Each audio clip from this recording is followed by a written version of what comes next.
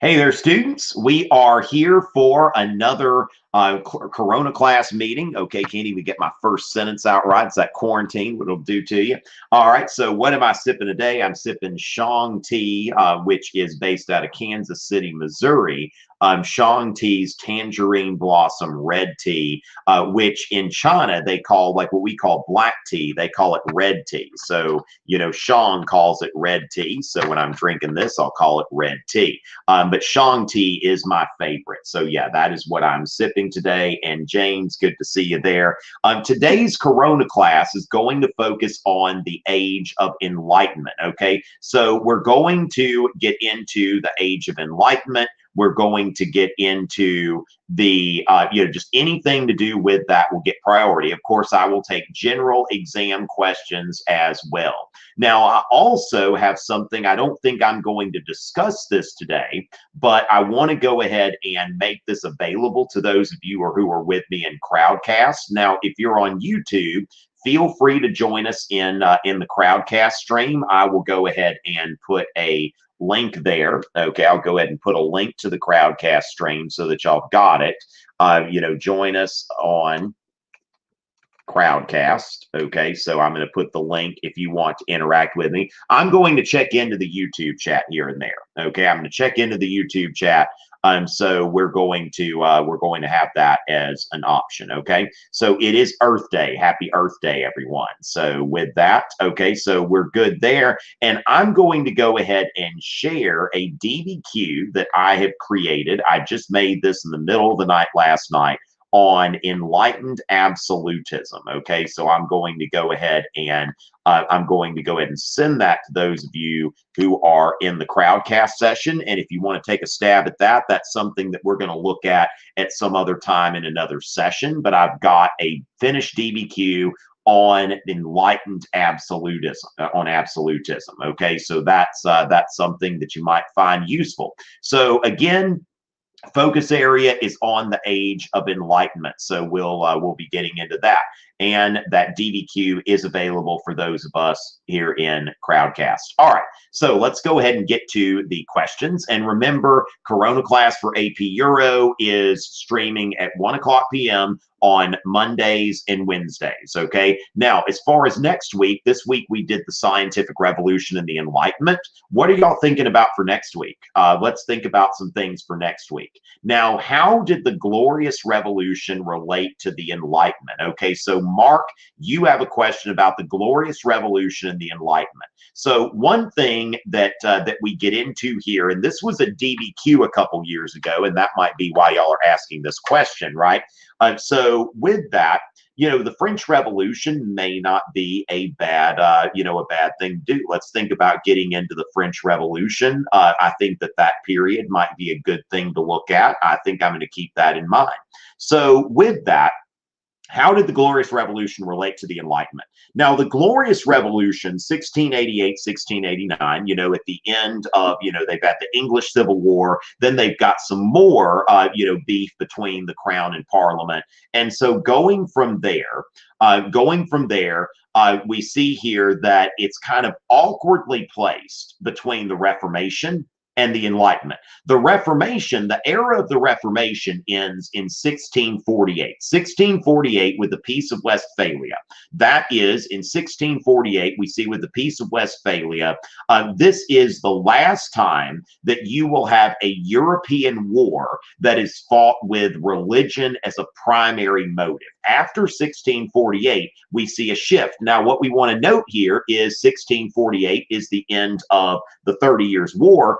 1649, that is when Charles I of England is beheaded. So the English Civil War is going on at the same time that the Thirty Years' War is in its bloodiest phase. And so this is the end of the Reformation. Now, when we look at the English Bill of Rights, we see a lot of things that are kind of like, you know, that are foreshadowing the Enlightenment, uh, setting the stage here. John Locke, when you look at my videos on the Enlightenment, I call like Locke and Newton kind of like precursors or godfathers or prophets of the Enlightenment. John Locke is somebody that certainly, I mean, he's somebody, he and Newton are laying the foundation for the Enlightenment. But at the same time, Locke and Newton are still very much steeped in 17th century or yeah 17th century kind of thinking. For example, uh, you know Newton spent a lot of time reading the Bible and trying to decode prophecies in the Bible, um, sketching out the dimensions of the Temple of Solomon. John Locke was a devout Christian. He actually uh, wrote a uh, you know, wrote an essay on the reasonableness of Christianity. So Locke and Newton are kind of situated, you know, they're still in that scientific revolution era. But what we want to note here is when we think about the idea of natural rights, okay, the idea of natural rights and the right of revolution, that the Glorious Revolution is setting up a lot of things here in terms of recognizing individual rights, uh, you know, recognizing limited government. Now, of course, when we look at uh, you know, enlightened absolutism and republicanism. Those are the two forms of government that we see during the age of enlightenment.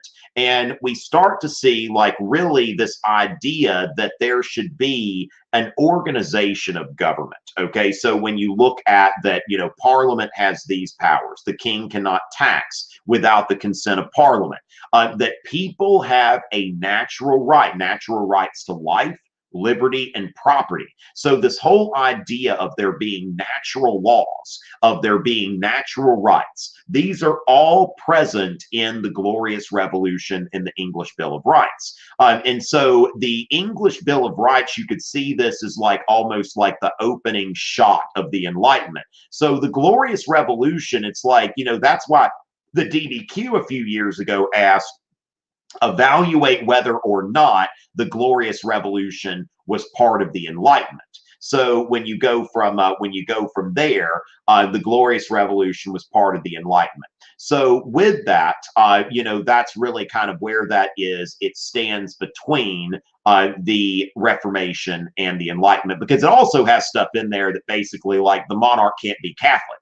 So when you look into the english bill of rights there are also some things that are definitely not enlightened when you think in those terms that we're not going to have a Catholic monarch in this country um, because that's just not something that we want. So you see, there's definitely some religious bigotry um, in the English Bill of Rights that is not really compatible with the Enlightenment. So that's something that's important as well. That when we look at the Glorious Revolution, we can look at it as the last chapter of the Reformation or the first chapter in the Enlightenment, or kind of like a middle chapter between the Reformation and the Enlightenment.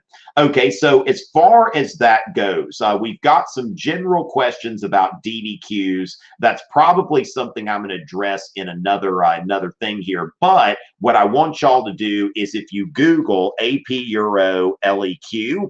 Uh, or AP Euro LEQ rubric, you will see uh, a link to tomrichey.net and you can go here. Let me just go ahead and share my screen with you. Those of you who have questions about the DBQ, and I know that I need to do a dedicated broadcast on that. Okay, so let's think about a dedicated broadcast on that coming up.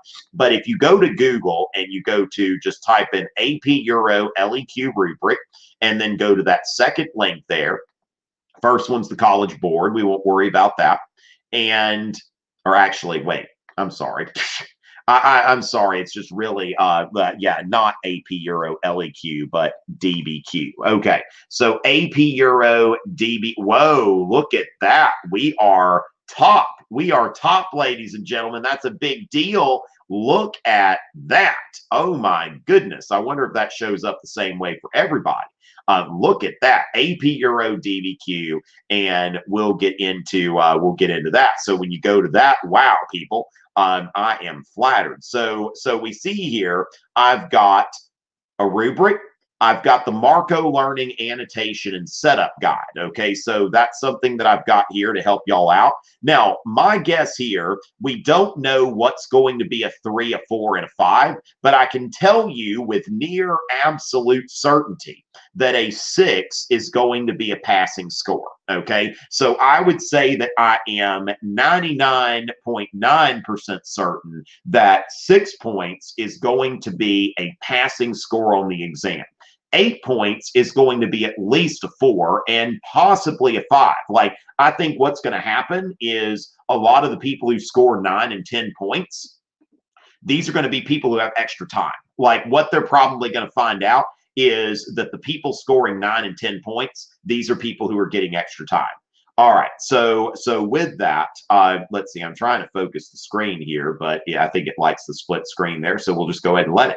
So when we look at this, we've got a strategy here, and again, this is on my AP Euro DBQ page. You can you can download my rubric. You can download Marco's setup guide. You can also download sample responses to a DBQ that I designed on secularism and the Renaissance. Okay, so all of these resources are there for the DBQ. Um, sounds like people are requesting a video. I've heard you. We will get into that. So I think that you're looking at six points. It's going to be a passing score, eight points, a safe four, possibly a five, ten points. Don't do it, Anakin. I have the high ground. Okay. Don't, I would not recommend trying this. I would not recommend trying that. So, with that, that's what I'm looking at for the DBQ. Lots of resources there available on my website. Okay. So, as far as that goes, I would say that you are looking at a safe, uh, you know, a six is going to be a safe passing score. Okay and the Bernard factor, thanks for coming in, even though you're not uh, preparing for this. All right, so we're going to, you know, but but I've got some, I've got some strategies there. So with that, let's go ahead and uh, we are going to get into the basic policies of enlightened absolutism. So I've got a video on enlightened absolutism, but let's go ahead and take a uh, take a look here. We will go into enlightened absolutism and go over the basic principles. Okay, and that's of course what's being addressed in the DBQ that I've shared with those of you who are here in crowd crowdcast. Okay, so let's take a look at enlightened absolutism. And let's share the screen. Okay, so we're going to share the screen and we're going to uh, go from there. So let's see, we are screen sharing and let's see, it's not going to let me focus the screen. I don't know why it is, uh, I don't know why it is focusing for some reason will it focus but yeah it's just not focusing the screens okay so as far as that goes enlightened absolutism um, kind of like uh, Admiral Ackbar, it's a trap. Okay, so there's another Star Wars reference for you. Now, toleration of religious minorities, reform of institutions, absolutism, of course, and patronage of the philosophes. Okay, so here are the things when we want to assess whether a, a monarch is an enlightened absolutist. First of all, toleration. Okay, so is there a religious toleration policy? If there's not a religious toleration policy, that's not enlightened. So when we think about this toleration of religious minorities, now also we want to think about does this enlightened monarch support separation of church and state? That's something that I think is important as well. Reform of institutions. Is there institutional reform. The strongest here, you're going to see Frederick the Great uh, is going to uh, reform, you know, the civil service. Basically, Frederick the Great creates a civil service system where you've got a system of professionals who are running the government and not just somebody who is there because of whatever title they have. Now, granted, a lot of these people have titles, but civil service, that there is this professional administration of the government. Now, also, when you look at Joseph II, uh, who um, issued an edict of toleration for Jews, also uh, Joseph II uh, was, uh, you know, got rid of some aspects of serfdom, or at least tried to. Now, absolutism, this is as opposed to republicanism. Okay, so the two the two types of government, were actually maybe three that we see that that surface here are republicanism. Of course, that's when you look at the French Revolution, the American Revolution, you're looking at republicanism. We also can see constitutional monarchy, as you see in Britain, and then enlightened absolutism. And then finally, patronage of the philosophes. So we're thinking in terms of there was a point where Voltaire um, lived at Frederick the Great's palace for a few years. They eventually had a falling out, but Voltaire and Frederick. Uh, Frederick was very interested in philosophy. Catherine the Great was a patronage, patroness of the philosophes. Uh, she corresponded extensively with Diderot and Voltaire. Now, the three enlightened absolutists that you will run into the most would be Catherine II of Russia, Frederick II of Prussia, Joseph II of Austria. Now, Catherine and Frederick are both known as the Great. So, Catherine the Great, Frederick the Great, and Joseph, I guess, the not so great, right? Because he's not known as Joseph the Great. Now, Joseph, one thing we want to know about Joseph is Joseph was the most ambitious in his reforms. Joseph tried to carry out some very extensive reforms in Austria, um, but he was also the least successful. Okay, so when you look at Joseph II, okay, when we look at Joseph II of Austria, uh, we are finding that he's the most radical and the least effective. Okay, so that's something that is important there. Now, he did issue a uh, you know religious policy that included toleration of private worship for Jews, like not just Christian toleration. So that's something that is important there as well.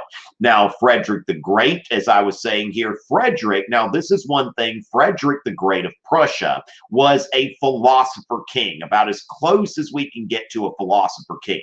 Frederick the Great called himself the first servant of the state. Um, that's something that you want to note here in terms of the first servant of the state, that Frederick is uh, saying that the king's job is not to live in luxury. It is not to chase women. He says that you look at kings like, you know, I don't think he mentions Louis the 14th by name, but, you know, a king that's chasing women all the time and living in extreme luxury, that this king is not an effective ruler for his people. The king is there to serve.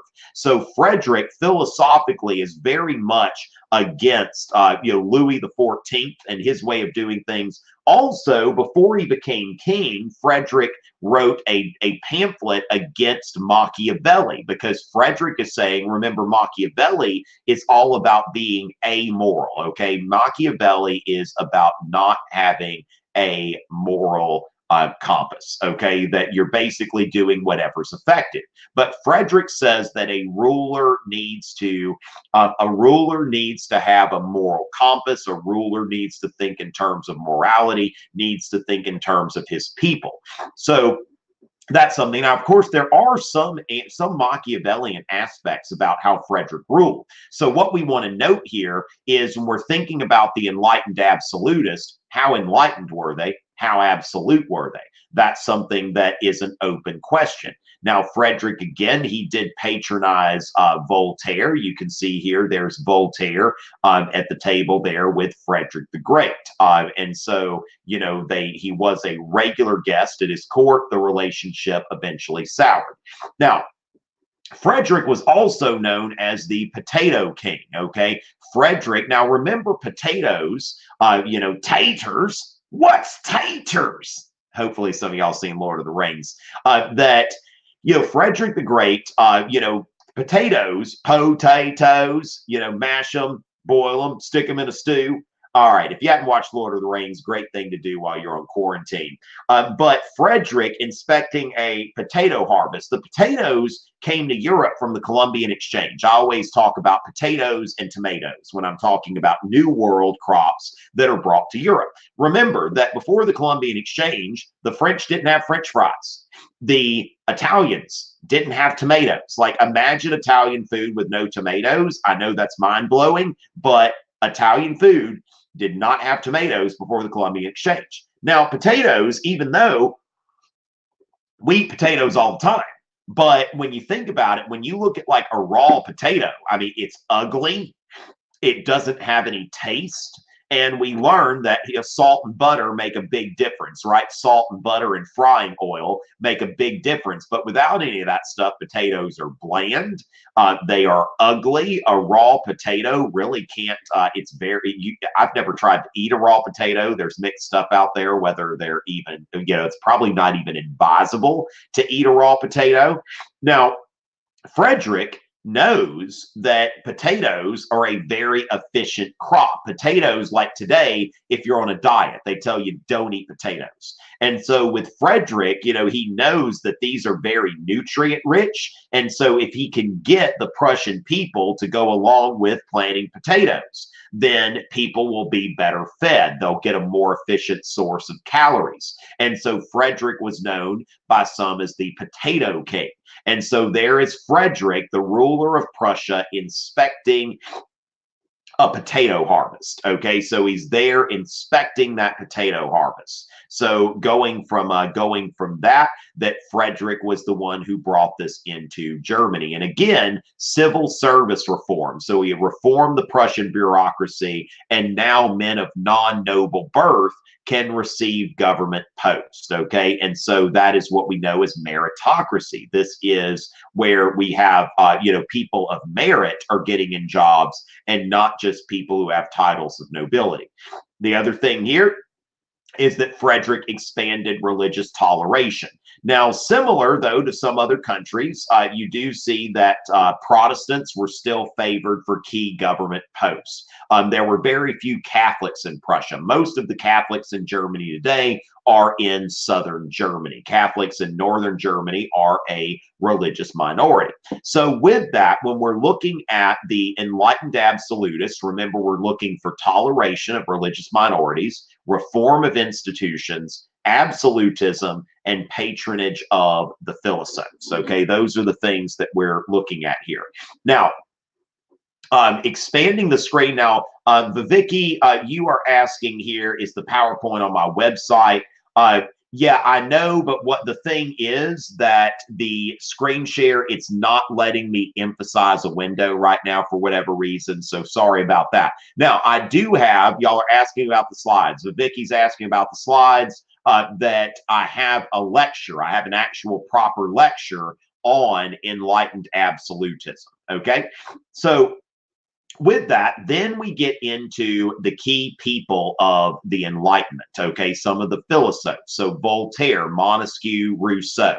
So as far as when we're looking at this, now this is uh, this is one of those things. Oh, the screen became tiny again. Okay, so as far as that, let me go ahead and uh, and open up my presentation on the philosophes, and let's see what's going on. I'll pay some attention to the chat uh, as we go through this. Now, I've got lectures on all of these people that you're asking about. Okay, so keep that in mind that I've got I've got a full series of lectures on the Enlightenment philosophes. Oh, okay, so we've got the tiny screen over there. So we're going to try to focus this. Okay, now we're good. Now we're good. I think we're good now, and I'll come check the chat again to make sure. Okay, so with that, yeah, so and now I should be tiny. Okay, so y'all tell me what's going on now. How does this look? Okay, so let's go ahead and make sure that everything is good here. Okay, is everything working? Let's go into the chat. We're all good. Okay, so we're going to uh, just go in here and see what's uh, see what's happening. Okay, so when we go into the philosophes, okay? Now, first of all, philosophe is not a misspelling. That is French for philosopher. So typically when we talk about the Enlightenment, uh, the Enlightenment folks, we are using the term philosophe equals enlightenment philosopher because it's French for the word philosophe. Now, I've noted already, and again, I've got a very substantial series of lectures on this. Newton and Locke are basically the precursors. They're the people who are kind of the godfathers of the Renaissance. Newton with the laws of physics, and natural, the idea of natural law, John Locke with the idea of natural rights. Okay. And of course, again, you can ask questions like, was Locke part of the Enlightenment? Now, we can see that the Enlightenment's going on all around Europe, but especially in France. Okay, now I've also got a video about the American Enlightenment Uh, but uh, here I've got, you know, we see that most of these folks, Voltaire, Diderot, Montesquieu, Rousseau, they are coming from France. So we want to note that France is the epicenter of the Enlightenment. Part of the reason why we uh, call it uh, call them philosophes, right? And so Voltaire is the most important of these, the most visible of these Enlightenment philosophes. Of course, best known for writing Candide, which he considered to be a minor work. Okay, this is something that didn't take him a lot of time. He didn't put a lot of energy into compared to a lot of his other writings, such as extensive biographies of Louis XIV and Peter the Great.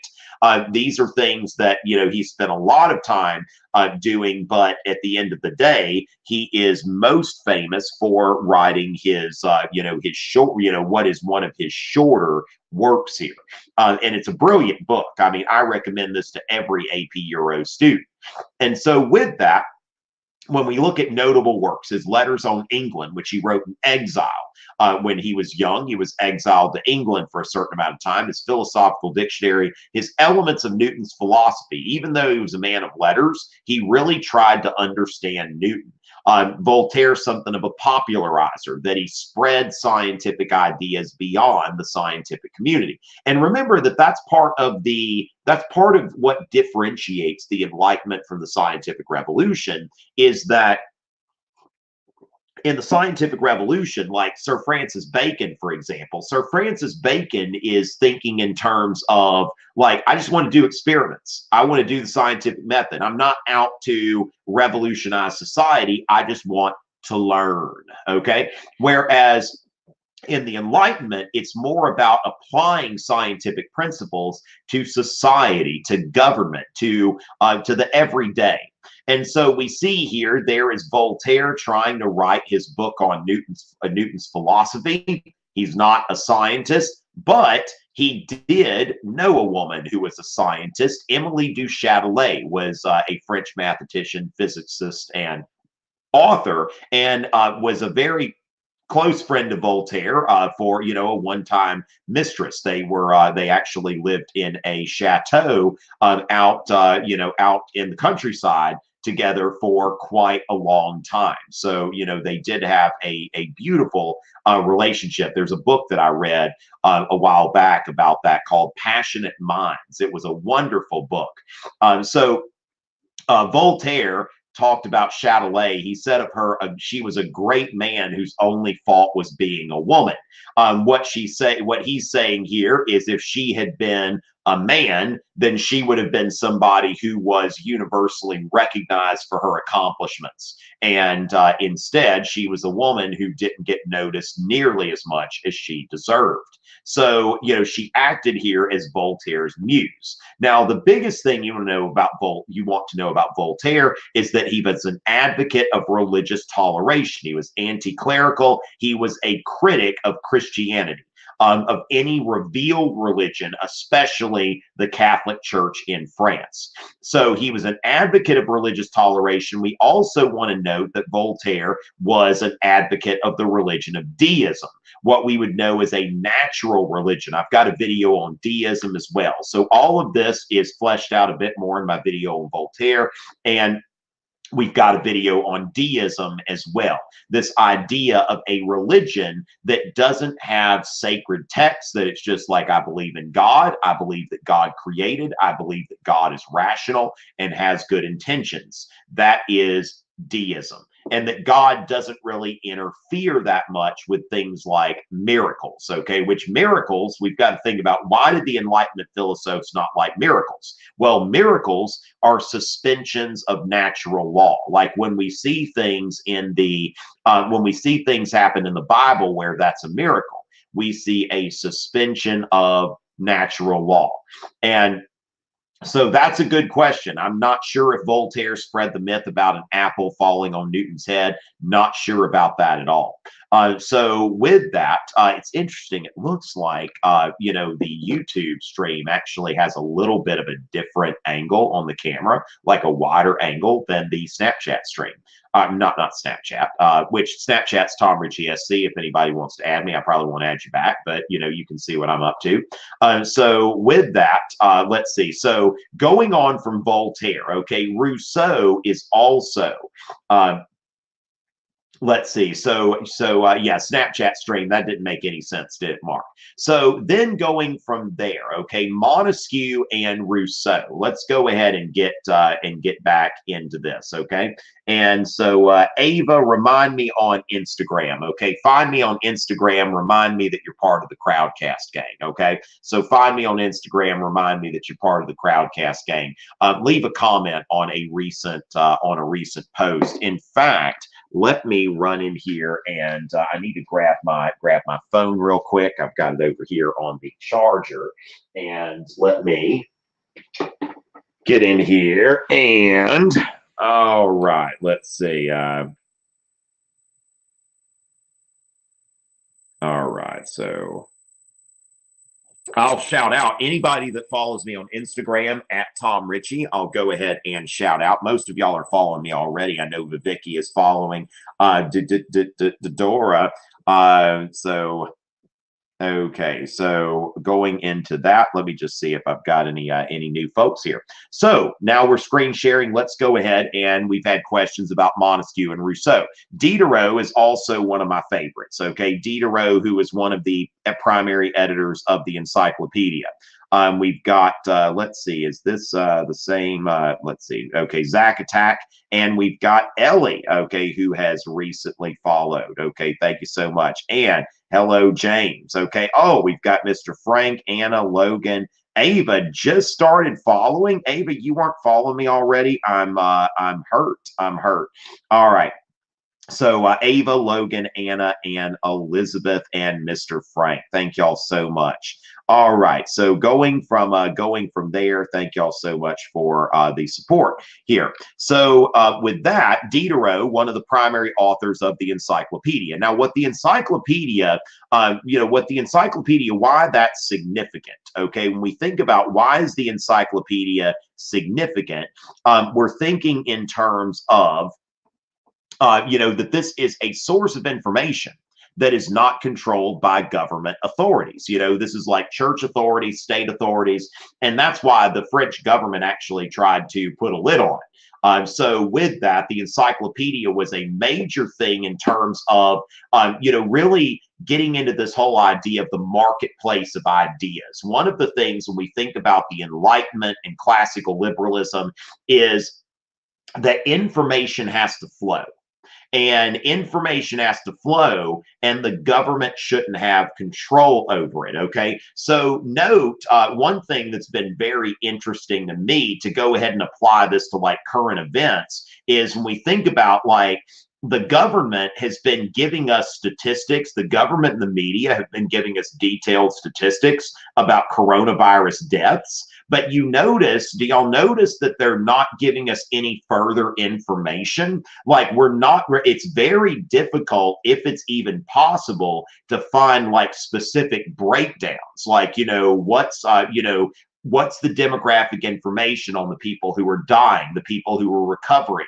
uh, what's going on here. You think about in some countries, it's easier to find testing than others. In the United States, it is very difficult to get tested for corona. It's not easy to get information right now. So you think about this freedom, part of freedom is freedom of information so that you can make rational judgments. When people don't have information, think about this a lot of people are panicked right now.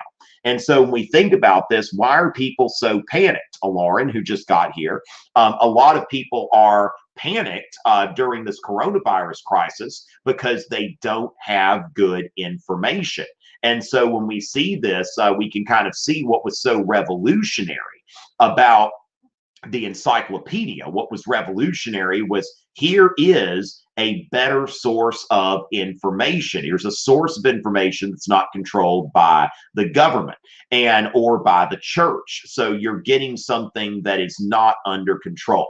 So with that, let's go ahead and uh, we're going to uh, we're going to get into let's see we're we're screen we're sharing our screen and that's Diderot Okay, that's Diderot. And so with that, let's see. So going from uh, going from Diderot, we want to close unnecessary things here.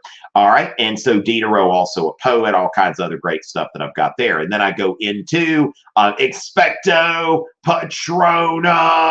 Okay, which uh, you know, Catherine the Great was a patronus or a patrona, whatever you'd call her. She was a uh, you know, a patroness, not a patronus, but a patroness um, of the philosophes. And so we know that uh, Catherine the Great, when she found out that Denis Diderot was having a hard time financially, she purchased his library. So she gives him money to buy his library. And then she says, I'm going to pay you a salary to be my librarian.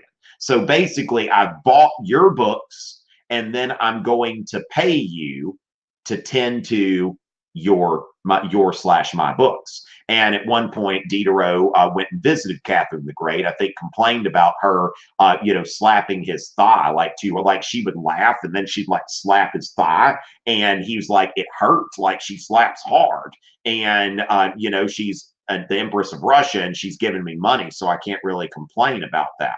Uh, so as far as uh, as far as that, so going from uh, going from there, uh, we've got here political theory. Okay, so Montesquieu and Rousseau are the political theorists of the. Uh, they're the political theorist of the Enlightenment. And so when we look at Montesquieu, the spirit of the laws, he wrote the book, The Spirit of the Laws, where he goes into government based on Enlightenment principles. Now, one of the things that he brings in is this idea of what is the way to set up a republican government like we saw under the Romans? And so he outlines this idea of separation of powers between the legislative, the executive, and judicial branches, that we need a separation of powers. And then when you look here, the legislative makes the laws, the executive enforces the laws, the judicial judges disputes. And so what we see here, the person who makes the laws is not the same person who enforces them the person who enforces them, not the same person who judges if there's a dispute. So this keeps any one group from getting too powerful. And this goes into a lot of Enlightenment philosophers' views of human nature, which are that, you know, humans are inherently selfish, they're inherently greedy. Like when we call people selfish and greedy, we're really just calling them human. And so the Enlightenment is not about an attempt to apply some sort of religious or socialist morality, but to use people as they are and come up with institutions that will support that behavior. And so when we think about this, that we're, you know, Montesquieu's creating a government, he's creating a form of government um, where you don't depend on people to be good people. Okay, so I've got uh, actually I've got another Ava here. Okay, so we've got another Ava here from the stream. So we've got multiple um, Avas. Okay, so going from uh, going from there, Cangelo, um, Baroque Classical, JP JPH, Palmer 50, Palmer Bank 57, Dale 360, Bum Mike. Okay, excellent, excellent. And look here. Okay, so uh, you know, Talia is here as well. Okay, Talia, who is uh, into uh, into Star Wars, so excellent. Uh, has great uh, taste in Star Wars movies. Okay, so as far as that goes, uh, great to see people, uh, you know, getting into here. Now, so Montesquieu is using jealousy, like essentially that people need to be jealous of each other's powers. If you apply that to what's going on right now, if you want to understand Montesquieu, you can even look at checks and balances between the federal and the state governments. You see that President Trump has clashed with quite a few state governors over the uh, corona response. And so with that, we see that a lot of state governors are clashing with the president, and you see this kind of standoff here. And that's what Montesquieu wanted. Okay, Montesquieu wanted there to be jealousy, there to be checks and balances. So, checks and balances, such as a presidential veto. And so, and remember that empiricism, this is something that's a big deal in the Enlightenment, just like in the scientific revolution. Okay. So, as far as that goes, that that is just like the scientific revolution in the sense that we're doing things based on what we see. So we're not, uh, you know, we're not doing things based on what should be, but we're doing things based on what is. Okay, we're doing things based on what is, not what should be. And so going from uh, going from there, we look at Rousseau. Now, when we look at when we look at uh, Montesquieu, we're looking at how should a government be organized? What is the best way um, for a government to be organized? Now, Rousseau is writing about what is the best way for a government to be legitimate. Okay, what makes a government legitimate? And so, with that, uh, you know, this uh, Rousseau's book, The Social Contract. Now, note that just because Rousseau wrote a book titled The Social Contract, it doesn't mean that he is the first person to address the idea of the social contract. Hobbes and Locke in the 17th century had addressed the idea of the social contract. So Rousseau, he titles his book The Social Contract, but it's different than Locke. Now, there are three videos on YouTube that I would especially recommend. There is uh, What Does Locke Say? That's Mr. Bett's class. And then what does, uh, I mean, what does John Locke say? That's Mr. Bett's class. Um, that is, then you've got uh, my video, What Does Thomas Hobbes Say? And then um, there is another video that was like uh, an acoustic song that I think was really great. Uh, you know, What Does Rousseau say? Okay. So what does Rousseau say? I love this one. Okay. So let me just go ahead and note that. Uh, yeah, that was a while back, uh, Mr. Uh, Maintz's class. I haven't heard from him in a while, but this is a great video here. Uh, what does Rousseau say? I'm going to go ahead and link that both in the YouTube chat uh, and also in uh, in the crowdcast chat. So thank y'all for those of y'all who are in both places. Um, but this uh, this thing. What does Rousseau say? I really enjoy it. Um, because it goes into his uh, goes into his philosophy, uh, which is a lot of times kind of difficult to uh, to take in. Rousseau is not someone who is, uh, you know, someone. Yeah, y'all feel free to follow my SoundCloud. Just search for Google Tom Richey SoundCloud and you'll find it, including my new song about Napoleon, which I guess I'll sing live for y'all again when we are uh, when we're live together. So thank y'all for y'all support of my musical endeavors on SoundCloud, even though they're not that serious. All right, so let's make sure that we're emphasizing this here. And now we're going into Rousseau. Okay, so now Rousseau, um, the social contract peaks early. The first line of the book says, Man is born free, but everywhere he is in chains. And that's the first line of the book, the most often quoted. And so he's asking what makes a government legitimate. Now, where is Locke's, whereas Locke's social contract you know, we don't learn about Rousseau in American government classes. Okay. We don't really learn about Rousseau in American government because his social contract is not individualistic okay so it's really it's based on this idea of the general will thank you so much uh Audrey, you weren't following me already. I thought you were already. Fo- I think you might have unfollowed and followed back just to get a shout out from me or something like that. Because I swear I've seen this. Uh, I swear I've seen this account at some point uh, before. Um, but uh, there you go. So uh, Mac is here and Melon's uh, um, Zadamy 10. Okay, so we've got that as well. Thank y'all for the follows on Instagram. And so, uh, so with that, uh, we've got, uh, let's see, just need to make sure I'm getting everybody. Okay, so the general will. So the idea here is if you are not in the majority, okay, you are not in the majority, the vast majority feels differently than you do about something, then you need to submit to the general will.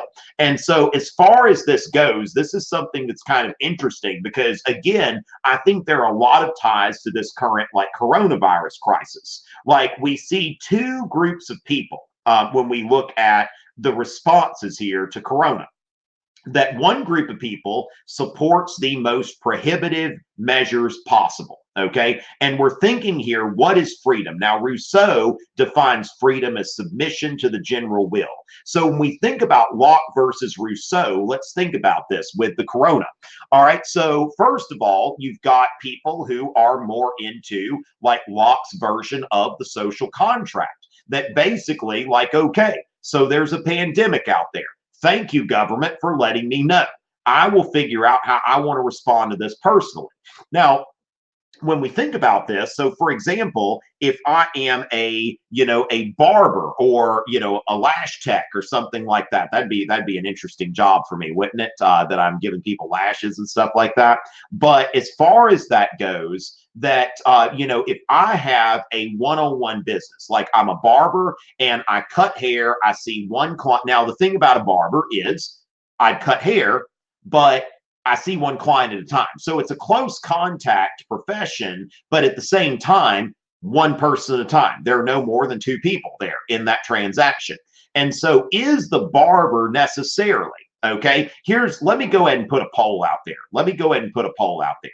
Um, should a barber, okay, so should a barber um be able to see, you know, to uh to do business? Okay, so do business right now with one client at a time, um, with other clients waiting in the car, okay, in their vehicles, okay, similar to like a doctor's office, okay. Yes and no, okay.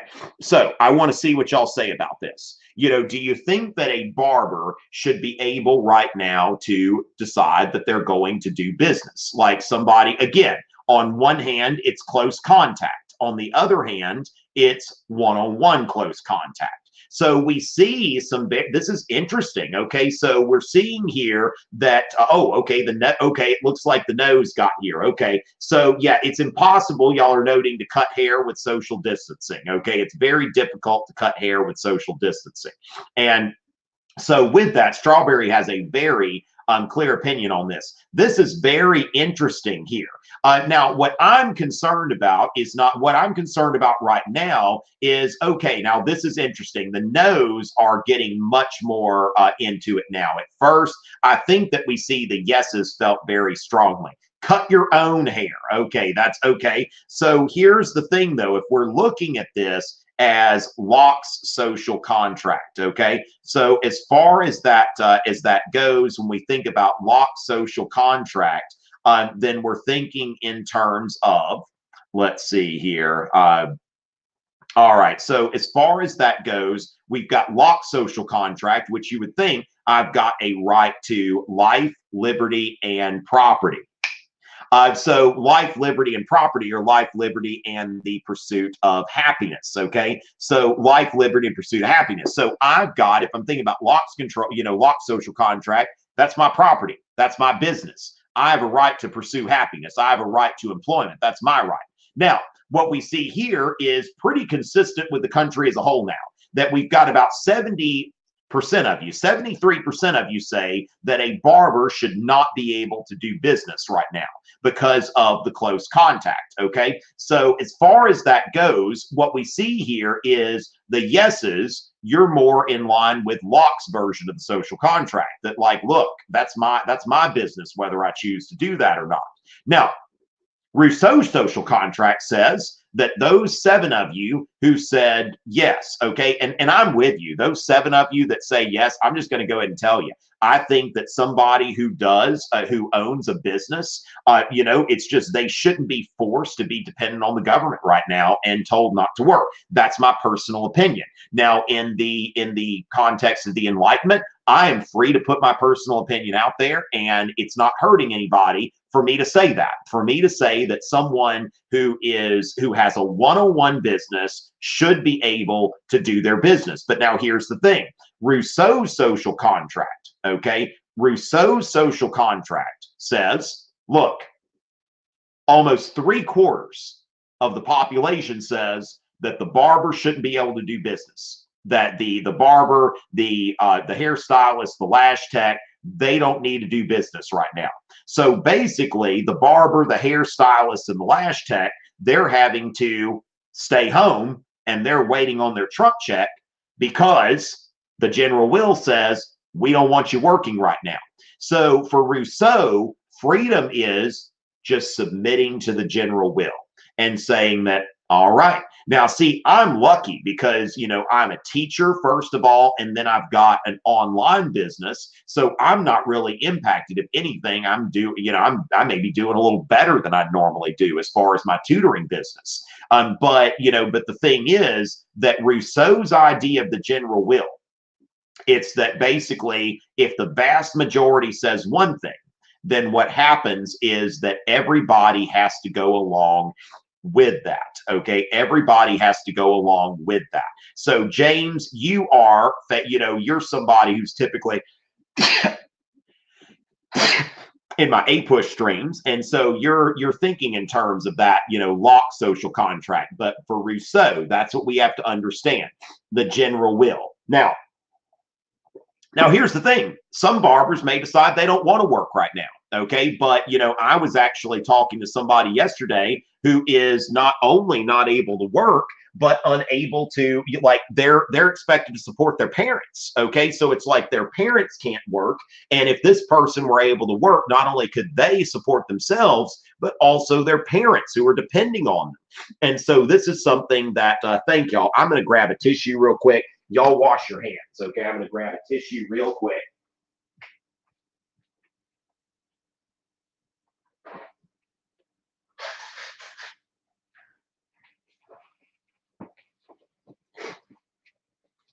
so for Rousseau, okay, for Rousseau, we think about this that uh, you know, well, yeah, well, that's that's the thing, Steve. That that when you're looking at Rousseau, that the social contract is made based on. I mean, like you're saying here, for example, what if the general will was in favor of slavery?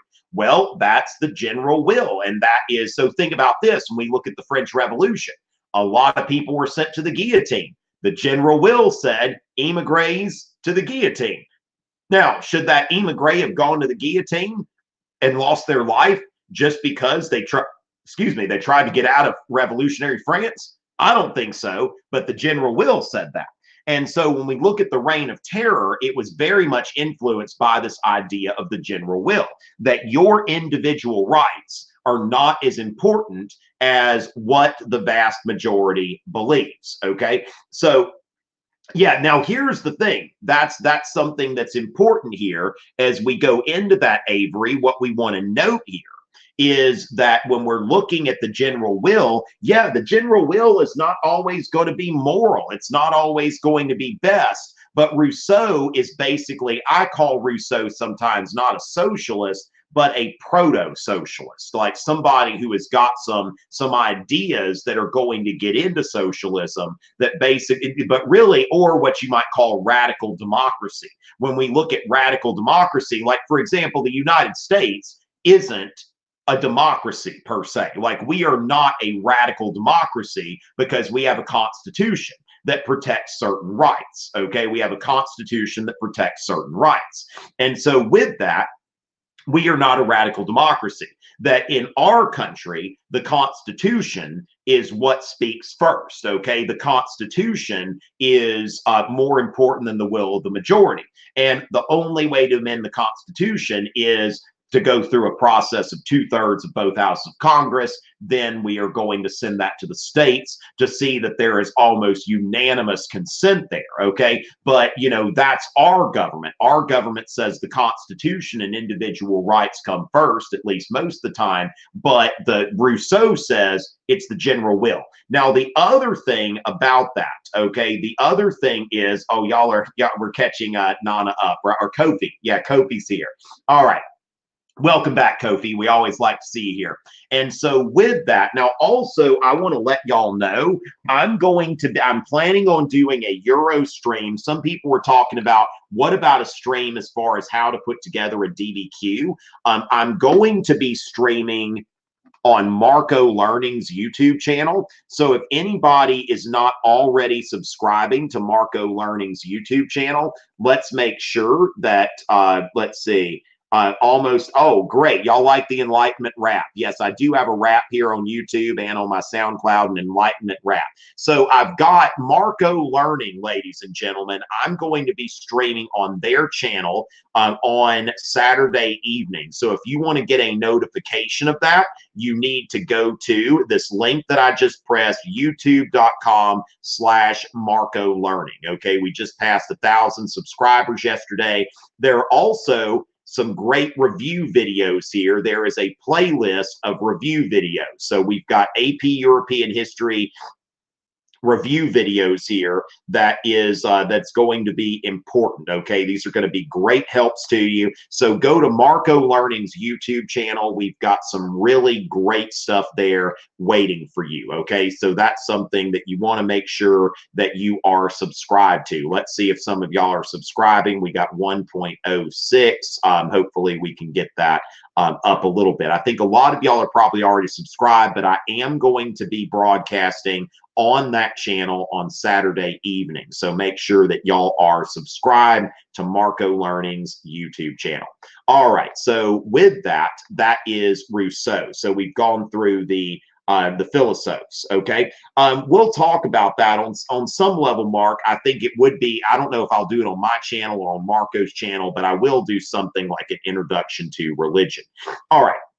So, in general, I think here, Elliot, when we're talking about POV on a website, or I mean, not POV on a website, I'm sorry. Uh, I don't know. Okay. So, when we're talking about a POV, um, I think that, you know, it needs to be some, I mean, the main thing here is if you've impeached the author's credibility, they're not so much going to go into did that directly support the argument. Now, the thing is, when you impeach the, you know, when when we impeach, when we think about this, uh, that when you impeach the author's credibility, you typically do it to support your argument.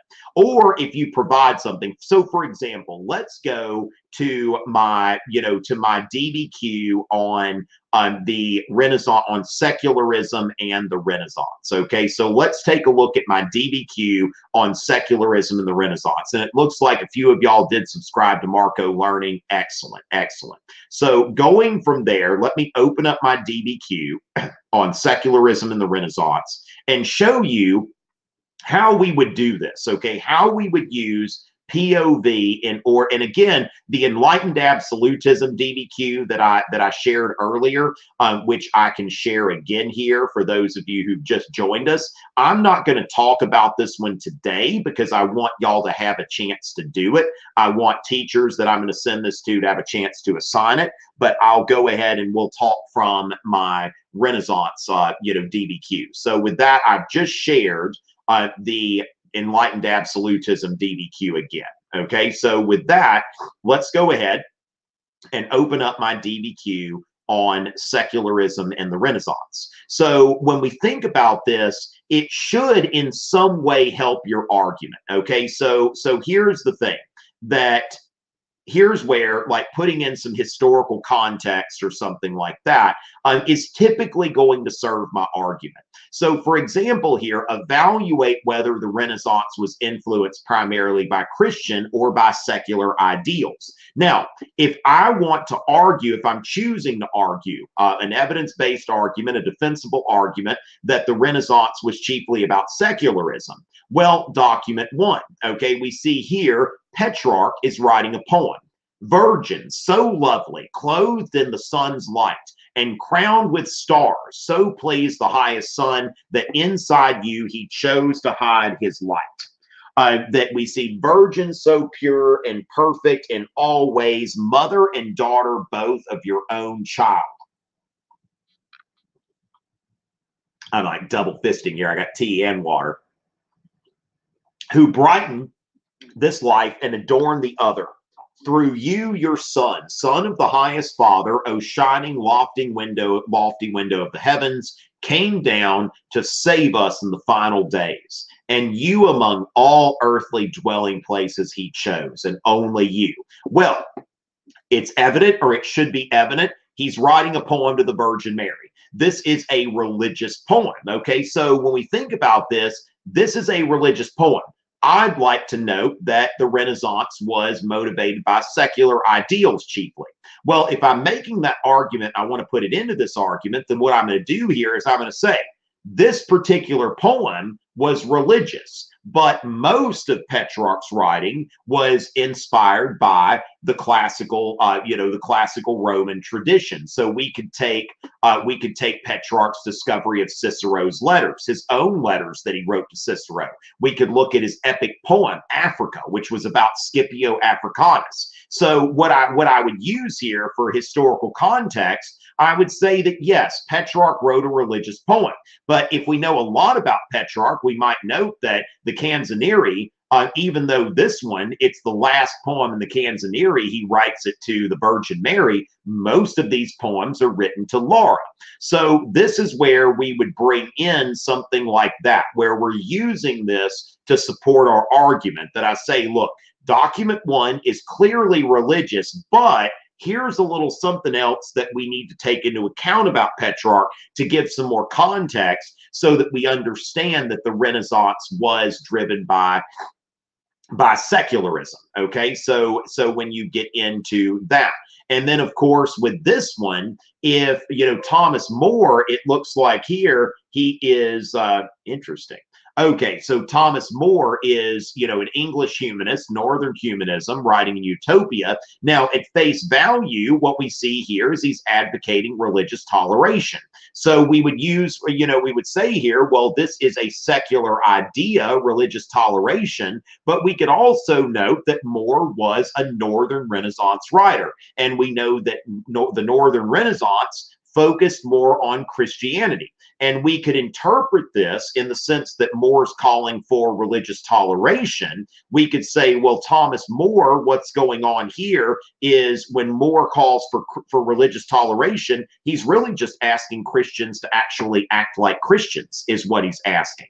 So, with that, we're going to go into these things in terms of looking at, uh, you know, so so now sometimes you'll impeach the author's credibility with their point of view, but you'll do so usually to substantiate your argument. And that's something that I can go into for document one. There's definitely a strategy for that. Um, for document one in the enlightened absolutism DBQ that I just that I just shared. Okay. So with that, uh, it's okay. So I am going to, you know what, Francis, I'm going to be creating um, Corona class sessions. Um, I'm going to be creating those. I'll get those out there. Okay. So there will be more Corona classes Monday and Wednesday at one o'clock. They're not on the schedule yet, but they will be. Corona class will be Monday and Wednesday at one o'clock p.m. Eastern. Now, there will be other times that I will be streaming, but those will be the official Corona class times. So, yes, this is not the last Corona class session. Um, are the philosophes the earliest libertarians? Now, it depends here, James. Uh, we could say that certainly, like Diderot would be a great example of a libertarian. He wrote a poem, um, El uh, uh, which is basically like the fanatic for liberty. Now, here's the thing, though. Just like with the founding fathers, we don't want to profile all of them and put them in one box. Rousseau certainly was not a libertarian. Uh, you know, when we think about the general will, that is not a libertarian concept, okay? Not a libertarian concept. Now, Rousseau is, and, and, that's another thing. Thinking of, uh, speaking of Rousseau, Suho has got some uh, Van Gogh there. It looks like in your profile picture, great Euro stuff there. Um, that Rousseau, they say here that Rousseau is part enlightenment, part romantic. Okay. And one of the things here is Rousseau was caught up in the idealization of the noble savage. Um, and also, we have to think about that Rousseau's social contract is not liberal. Okay. And the Enlightenment, that really the Enlightenment and classical liberalism go hand in hand. Okay. Um, so as far as that, uh, you know, yes, thank you so much, Excetti TL. I'm glad to see uh, the nice words here. And so the Enlightenment, most of the Enlightenment philosophes are advocating for some form of liberalism. So if you look at Voltaire and Diderot, definitely liberal in their thinking. Adam Smith, economic liberalism. Remember to put Adam Smith into the context of the Enlightenment. And then you've got Rousseau, do do do General Will, y'all. That is that's not really in line with what a lot of the Enlightenment philosophes are doing. So understand that while Rousseau is considered to be a philosopher, he does kind of fit in his own category. Um, so with that, um, that okay, so we've got here a great question about contextualization. But Vicky, it is always so good to see you.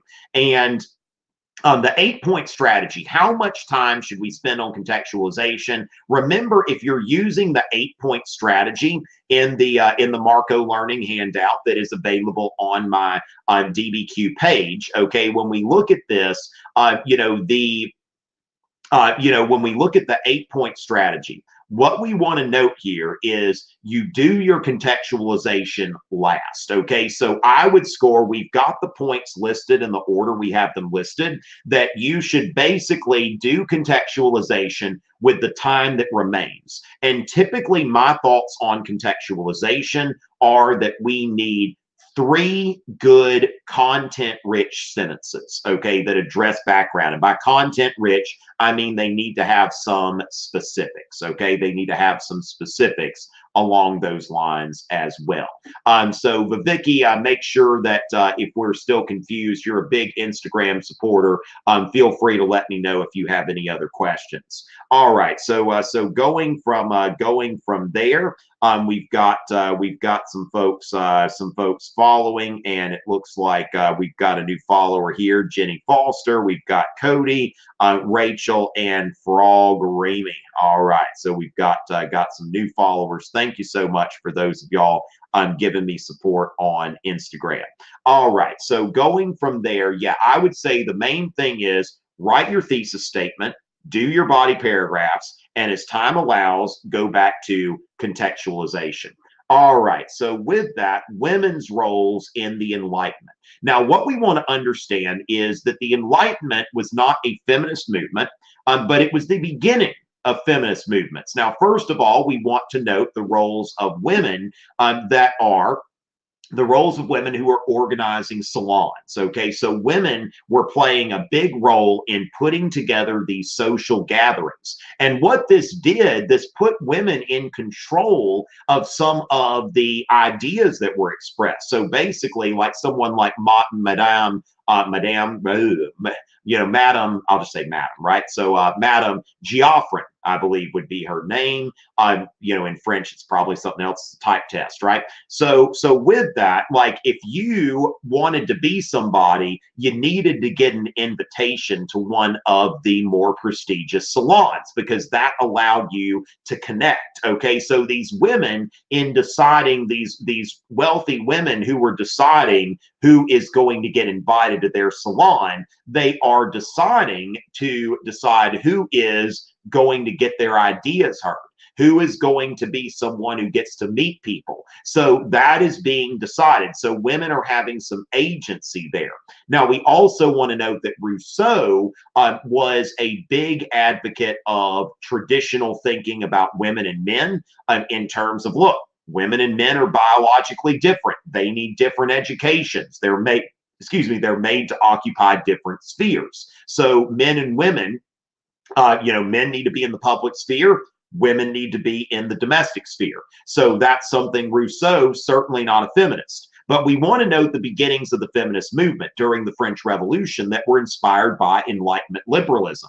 Marie, uh, Mary Wollstonecraft, who wrote uh, A Vindication of the Rights of Woman and the Female Citizen. And also we have, uh, you know, we have Olympe de Gouges, who wrote uh, the uh, you know, the Declaration of the Rights of Woman and the Female Citizen. So, because of the Enlightenment, because we see the emphasis on the rights of man, we then go on to the rights of woman.